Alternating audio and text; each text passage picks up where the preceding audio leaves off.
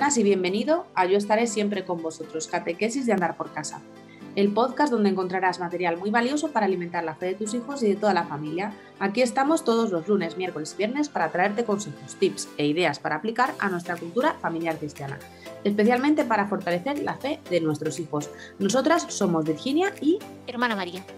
Y venimos desde el Secretariado de Evangelización de la Conferencia Episcopal Española. Hoy es miércoles 3 de marzo y vamos a hablar de la virtud de lo pequeño, ser afable. Recordar, la fe crece cuando se comparte.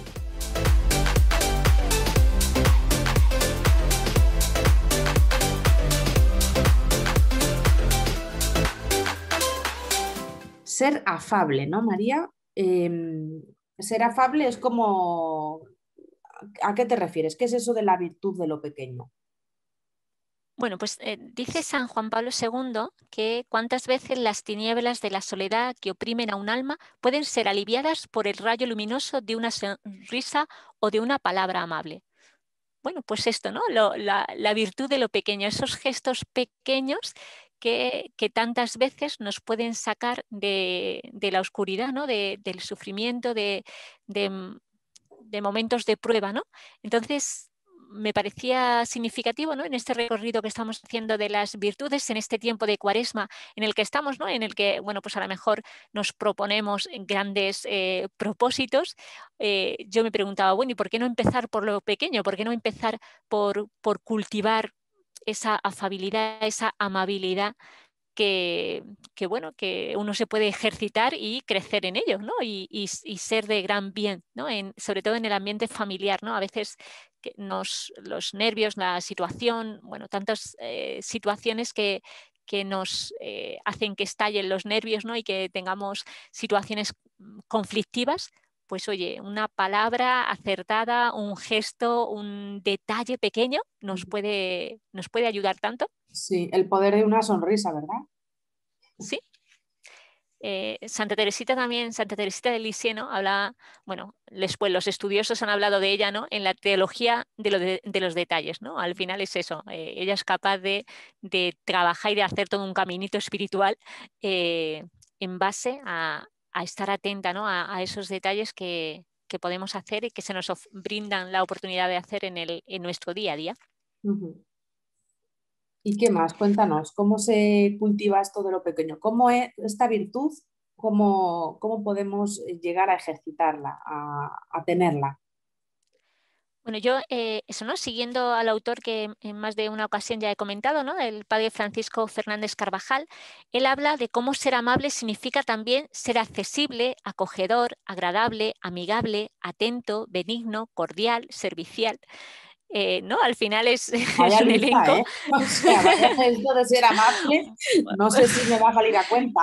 Bueno, pero eso no nos podemos fijar en uno. Venga, pues yo hoy voy a, ser accesible, ¿no? En, lugar de ponerme que no, que a veces nos ponemos así como una muralla, ¿no? Y, soy infranqueable. Oye, pues me voy a hacer con, en casa, en el trabajo, en las actividades extraescolares, en tantos momentos, voy a, voy a hacerme accesible, ¿no? Voy a abrir un poquito mm, para que los demás puedan acceder a mí, ¿no? Entonces, eh, eso, ¿no? Al final, mm, como que se puede cultivar de tantas maneras, ¿no? Y en casa, ¿no? Con, los hijos, ¿no? Eh, eso, bueno, también depende, es verdad que, a veces el carácter, ¿no? influye bastante a la hora de, pues esa accesibilidad, esa amabilidad, ¿no? E, etcétera. Pero, pero bueno, también el carácter se puede educar, ¿no? Teniendo esto claro, eh, qué importante, ¿no? Ser afable es ser asequible a la comunicación, ¿no? Tender puentes hacia los demás, ¿no? Entonces, bueno, pues venga, esta mañana me voy a proponer, ¿no? Sobre todo si tenemos algunas, alguna persona, algunas personas con las que nos es más difícil, eh, eso, ¿no? Voy a, voy a tender puentes, voy a, voy a crear lazos, voy a, voy a dar un paso hacia la, unidad, ¿no? En, este sentido. y en esta cuaresma puede ser también un compromiso especial eso. Claro, eh, sí, sí, ¿no? Por eso también la clave de, ofrecerlo en este momento, ¿no? A la hora de, plantearnos esto, también un poquito, ¿no? Eh, veíamos la primera virtud que proponíamos en el tiempo de Cuaresma era la humildad, ¿no? Que tan necesaria para decir, bueno, es que esto lo tiene que hacer Dios, ¿no? Si yo me dejo. Eh, mi, parte es dejarme hacer por, por, Dios, ¿no? Pero ser humilde y saber que, que Dios puede ¿no? y lo quiere hacer en, en mí. ¿no?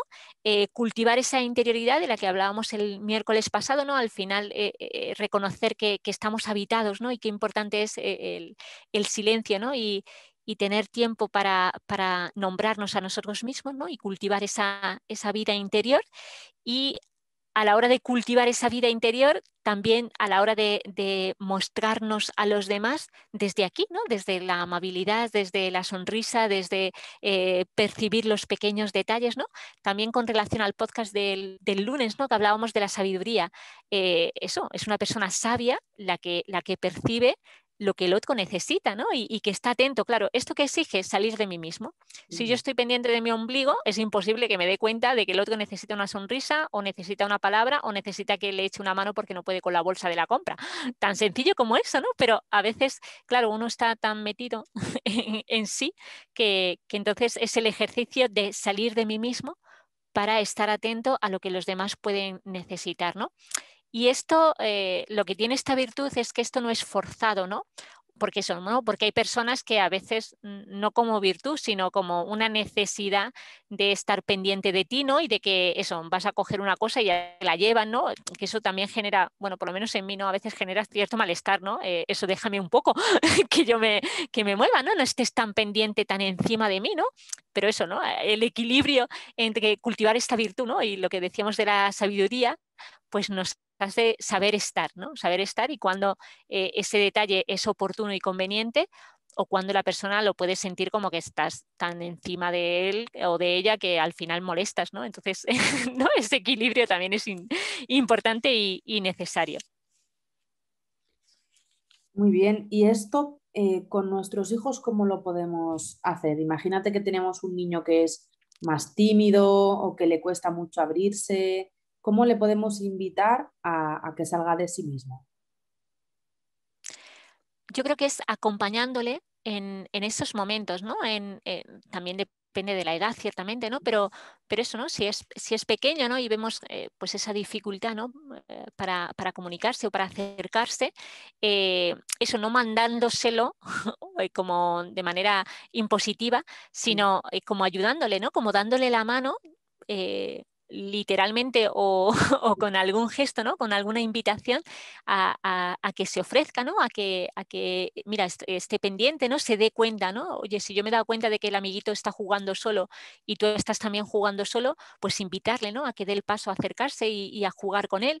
Es decir, eh, eso requiere estar atentos a, lo que ellos están viviendo, ¿no? conociendo también su carácter y sus posibilidades para, abrirse a esto, ¿no? Pero, y al final también es el, el, el ejemplo, ¿no? Yo creo que cuando ves que los padres ¿no? Eh, al pasar saludan, ¿no? A, veces eso, tan, tan sencillo que en nuestra sociedad y en nuestra cultura, bueno, y más con el tema de la mascarilla ya para colmo, ¿no? Esto del saludo, ya lo evitas, ¿no? Te cambias de cera para no encontrarte, es una pena. Esto hay que reeducarlo, ¿no? Va a haber que reeducarlo eh, posteriormente, ¿no? Pero, pero al final es, eso, ¿no? Cuando yo veo que mis padres saludan a los que estamos en el mismo bloque o a los que, eh, bueno, pues al final te sale, ¿no? No, no son, eso, no son cualquiera. Mm, bueno, pues mm. son personas a las que eh, tener una palabra de, saludo, de cercanía, de cómo estáis, ¿no? Y, recibir respuesta, ¿no? Si el vecino me pregunta a mí, ¿no? Y mis padres eh, o la persona adulta de referencia pasa de largo, pues al final yo lo imito, ¿no? Pero en cambio, si, si ante una pregunta o un gesto de, otra persona yo respondo, pues eso ellos lo, lo van viendo, ¿no? Al final eso, ¿no? Es como eh, ir, ir, moldeando, ¿no? Mm, con la vida el, eh, el carácter, ¿no? Y, las virtudes en, los hijos, ¿no? Que me parece una tarea preciosa y que animo a todos los padres a, ello. O sea, no imponer, sino invitar y acompañar, ¿no? Sería como, como una forma de hacerlo y dar ejemplo. Sí. En resumen. Muy bien, muy bien ese resumen, Virginia, que nos ayuda a todos a situarnos. Yo me voy a apuntar esta porque la tengo que trabajar mucho. ¿eh? Confieso que soy de las que me cuesta dar el primer paso y de las que me cuesta, y de las que me cuesta em, pues, eh, pues, eso, ¿no? esa sonrisa de primeras y todo eso. Entonces me lo voy a apuntar como, compromiso para trabajar en esta cuaresma y en esta Pascua. y bueno, no sé si quieres comentarnos algo más pues animarnos a, estos pequeños detalles, ¿no? Que, es de sabios atender a lo, pequeño, que, que, lo grande ya llegará, ¿no? Pero al final, eh, qué agradable puede hacer nuestra vida, nuestro día a día, eh, estos pequeños detalles de, de, amabilidad, de afabilidad, de eso, una sonrisa, un saludo, un pequeño gesto que a todos nos hace la vida más agradable, ¿no? Y que Dios quiere porque Él desea ¿no? que la felicidad de sus hijos en medio de, estas circunstancias que estamos viviendo. Así que animarnos todos, no solo tú, Virginia, aunque consciente de ello muy bien, pero eh, que todos nos, pongamos a, ello para, ya digo, ¿no? para hacer de este mundo un, mundo más agradable, más afable, más amable. Sí, sí. Muy bien, pues em, hasta aquí el episodio de hoy. Yo salgo con deberes, espero que otros también. Y si tenéis dudas o comentarios podéis escribirnos a evangelización.conferenciaepiscopal.es. Ya sabéis que podéis darle estrellitas o corazones o un dedito arriba a este episodio según la plataforma desde donde nos estéis escuchando para que otros muchos papás puedan encontrar esta información tan interesante que compartimos con vosotros totalmente gratis. Un abrazo y hasta el próximo día. Adiós.